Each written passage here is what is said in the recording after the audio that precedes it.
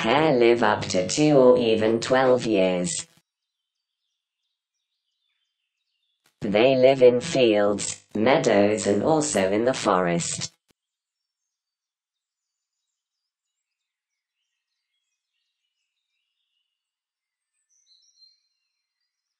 Hare have adapted to live scattered around the world. Hare like to eat grass, herbs, crops, but also buds and leaves.